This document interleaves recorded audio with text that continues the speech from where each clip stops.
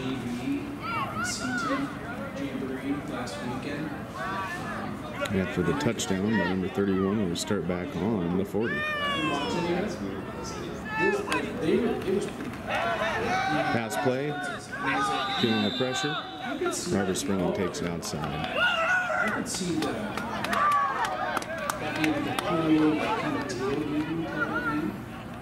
You know, like last, last weekend, we had a 4-2 Yes, it is. But usually the